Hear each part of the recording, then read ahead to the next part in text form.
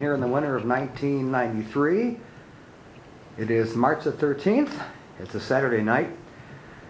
And uh, we're in the garage here at the Glasser household.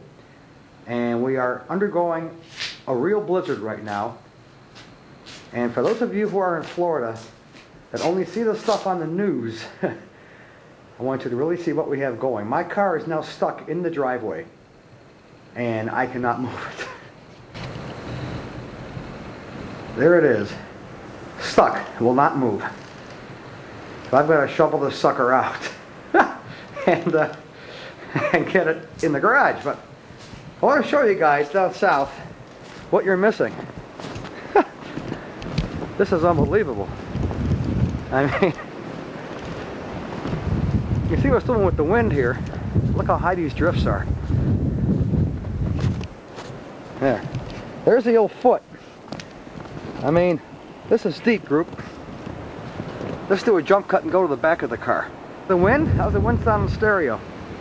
There's the car stuck in the driveway, will not move. You can see how deep that damn snow is. Drifts are unbelievable. Look at this. this is something else. Well, I want to go inside and warm up and then unbury my car. So from the winter of 1993, we'll see you later. Back about 10 minutes later, this nonsensical blizzard. blizzard, blizzard or something else. Well, here's where the car was. I managed to uh, unhinge it, as it were. But uh, that's where it was right there. I want you to see how deep this damn snow is. I was going to get a yardstick, I forgot